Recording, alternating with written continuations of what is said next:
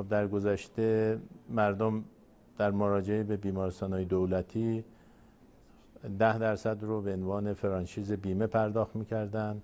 خارج از اون بستم بابت سایر خدمات به خصوص ملزومات پزشکی وسایل و تجهیزاتی که مثلا فرض کنید برای باز شدن رگای قلب هست یا برای اعمال جراحی مختلف وجود داره برای اعضا و جواره مختلف بدن لازم بود که بیرون تهیه کنن.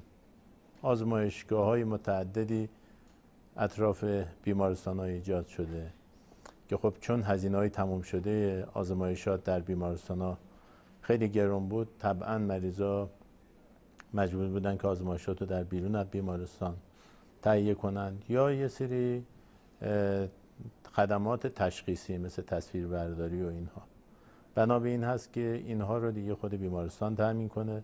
طبیعی است که این یک روزه و یه هفته ای شدنی نیست. به تدریج میریم به سمت اینکه بیمارستان همون انشالله توانمند بشن بتونن این خدمت رو ارائه بدن. این شاید بشه گفت مهمترین و سختترین کاری است که ما باید انجام بدیم.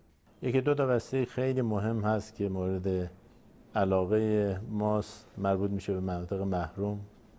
ما امیدواریم که با حمایت هایی که دولت می‌کنه در قالب پرداخت های مضاعف بتونیم حداقل حدود 1800 تا پزشک رو در مناطق محروم جذب کنیم. فکر می‌کنم انشالله این شدنی هست. طی چند ماه آینده